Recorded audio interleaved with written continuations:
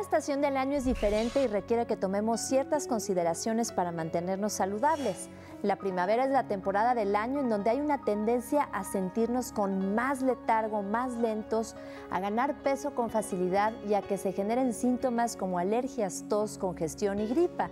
Para prevenir estos síntomas y mantenernos saludables, te recomiendo los siguientes seis tips de desintoxicación.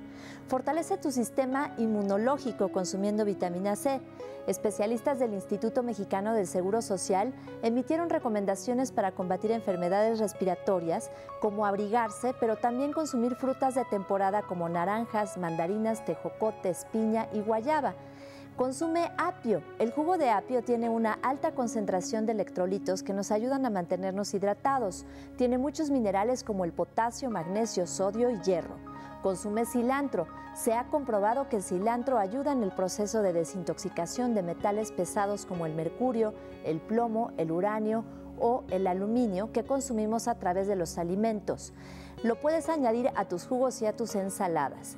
Chía. Las semillas de chía son increíblemente versátiles y nutritivas. Su alto contenido de omega 3 nos ayuda a reducir la inflamación y a reducir el colesterol alto.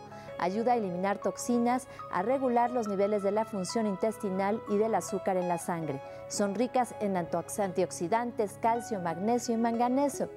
El berro tiene un efecto desintoxicante sobre las células de la sangre humana y su consumo puede reducir el riesgo de contraer cáncer. Lo puedes añadir a tus ensaladas y a tus jugos. Espero que estos tips te sean de utilidad. Hasta la próxima.